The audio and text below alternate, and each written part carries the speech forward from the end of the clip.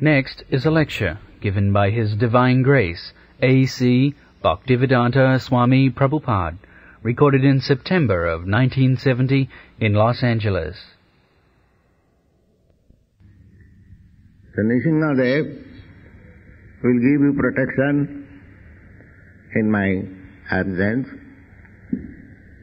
I am now going to Japan to get some books printed personally. And after that, my program is to go to India. Maybe uh, I shall be able to establish some temples there. Of course, in India, there are many temples. But it does not mean that I shall not also establish some temples.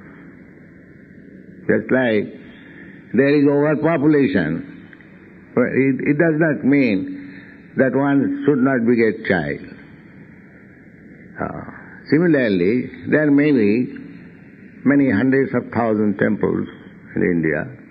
Still, our this society is gone should have their own temples. That is the way, uh, since time immemorial, there are hundreds and thousands of temples. So, my advice to you, I'm old man, so even uh, I may not return, you shall continue this Krishna consciousness movement. Uh, this is eternal. And I shall request you to keep this standard as I have already given you the program, the deity worship, the kirtan, the street sankirtan, distribution of literature, books. You should carry on this program great enthusiasm. That is my request. Uh, in the path of Krishna consciousness, the first principle is enthusiasm. If you lack enthusiasm, then other things will not happen.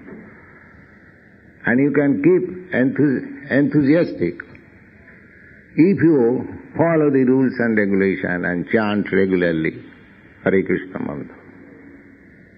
Uh, otherwise, that enthusiasm also will dry. So, six things are required for advancing Krishna consciousness. The first thing is enthusiasm. Uh, utsaha, dhairya, and patience. Uh, and nishcha, so conviction, firm conviction. Utsaha, dhairya, nishcha, tat tat karma pravartana, following the rules and regulations, chalked out plans, and uh, Saturvritte, dealings very straightforward. No diplomacy, no politics, no duplicity. That will not help. Saturvritte, vritti, his profession should be very straightforward. No underhand dealings. Uh, sato vritte and sadhu sangha, and in the association of devotees. Uh, six things, enthusiasm, patience, firm conviction, uh, following the rules and regulations, uh, dealing straightforward, no duplicity, and in association of devotees.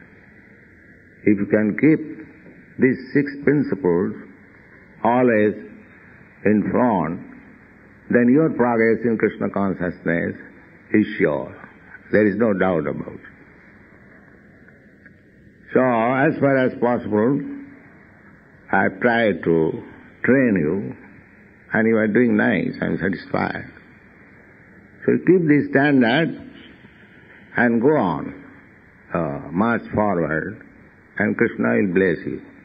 Thank you very much.